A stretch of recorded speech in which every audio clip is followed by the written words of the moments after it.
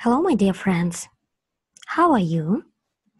Today we have new theme, the next lesson on the theme rain, rain. Lesson number two. So, our learning objectives spell a growing number of familiar high frequency words accurately during guided writing activities. Use common present continuous forms, including short answers and constructions to talk about what is happening now. Бүгін балалар, біз жаңа сөздерді қарастырамыз. Ол сөздер бізде күнделікті өмірімізде жиі кездесетін сөздер. Олда, оларды біз тани білу керекпіз және жазамыз. Және келесі грамматикалық тақырып созылмалы нақ осы шақ. Present continuous. Please open your pupils book at page 96. Exercise number 4. Төртінші тапсырмаға назар аударамыз. Жаңа сөздерді дәптерімізге көшіріп аламыз.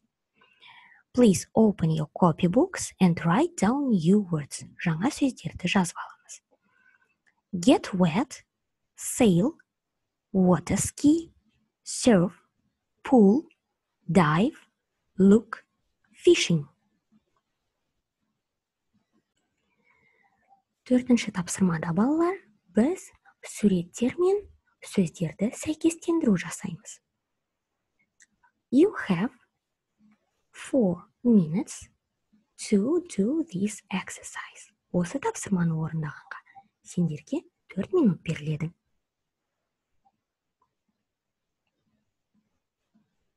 Тапсырманы орындағаннан кейін оны тексереміз.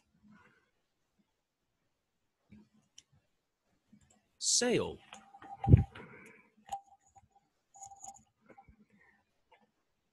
sail, dive, surf, get wet, water ski, pool, Жақсы. Next, exercise number 5. Бесінші тапсырма.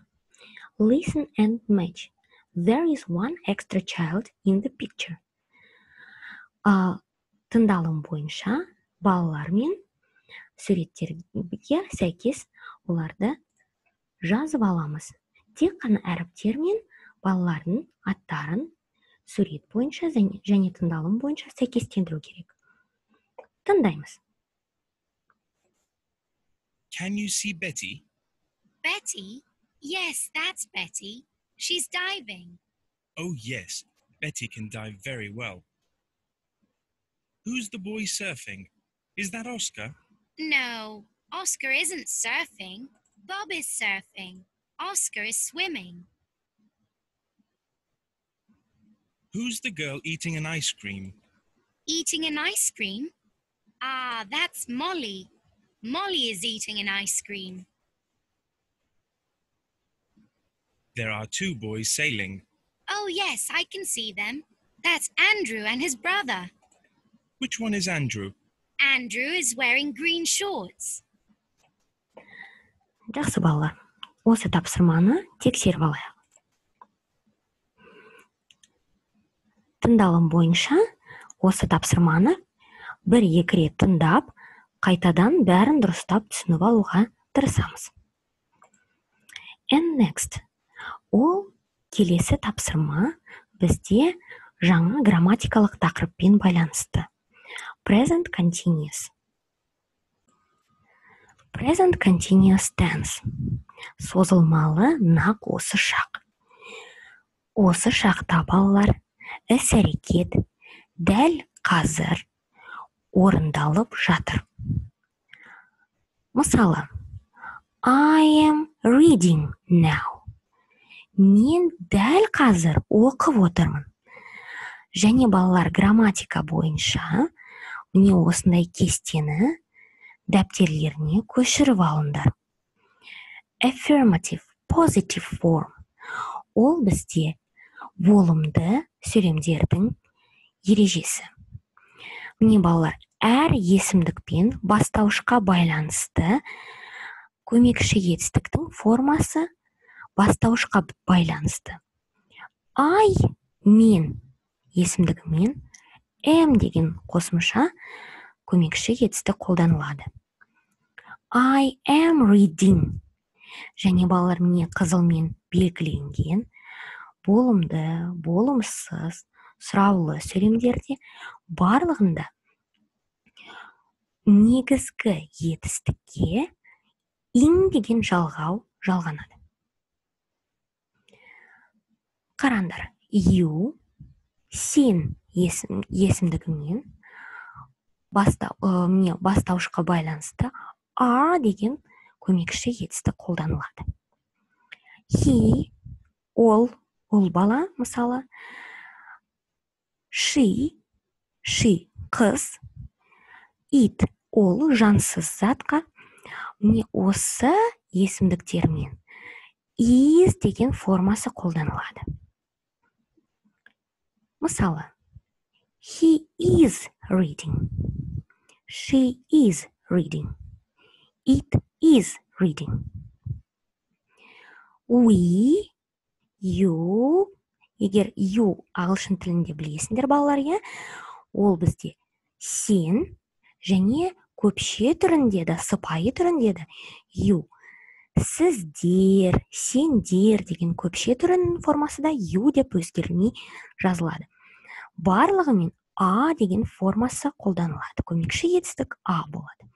We you they are. We are reading. You are reading. They are reading. Осы read деген етістіктің орнына кез келген басқа етістікті қолдануға болады. Тек қана оған in деген жалғауы жалғанады. Мысалы run жүгіру. I am running. Мен дәл қазір жүгіріп жүрмін. Negative form болымсыз формасы. Дәл осы не болымды формасында қолданылатын көмекші етістіктерге және олардан кейін not деген жоқ деген осындай сөз жазылады. Және содан кейін негізгі етістік I am not reading. You are not reading. He is not reading. She is not reading. It is not reading. We are not reading. You are not reading. They are not reading.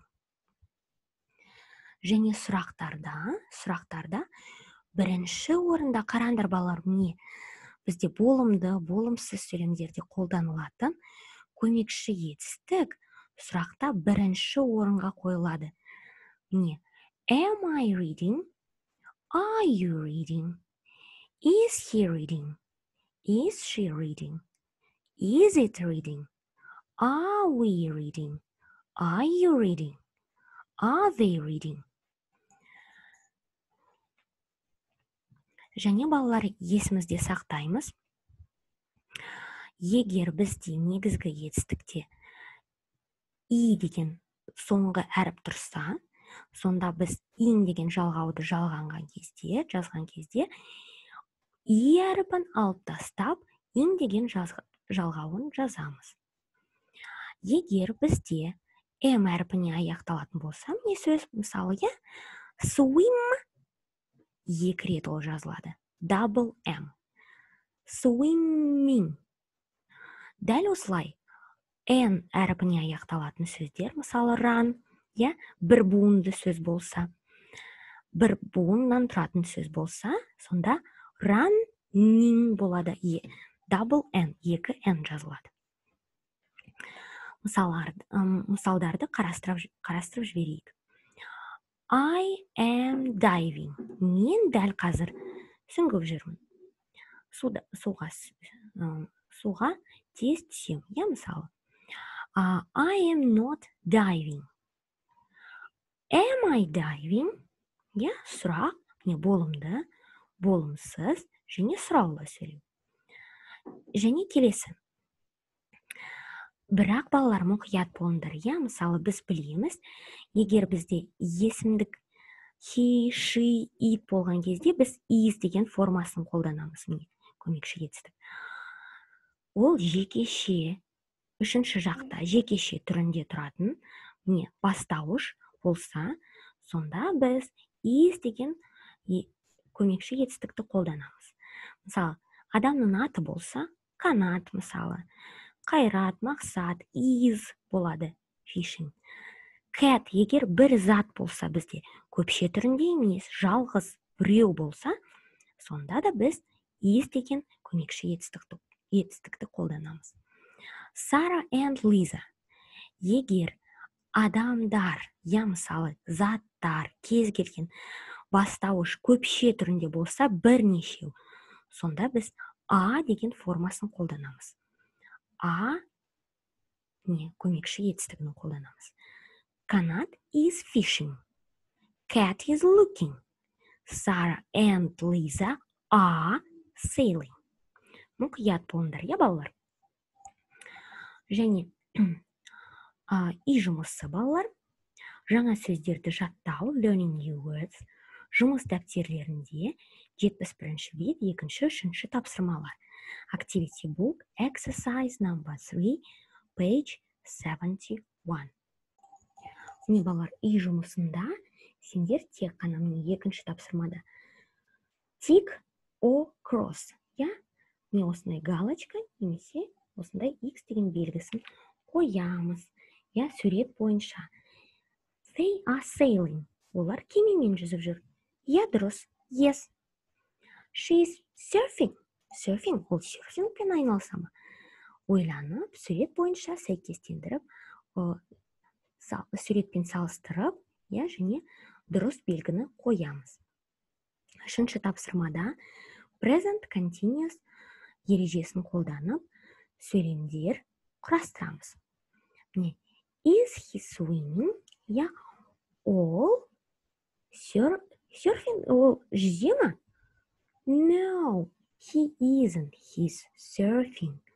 Иә жоқ ол жы- ол малтамайды иә ол серфингпен айналысып жүр дәл осылай сендер келесі суреттерге сұрақ қойып жауаптарын өздерің құрастырасыңдар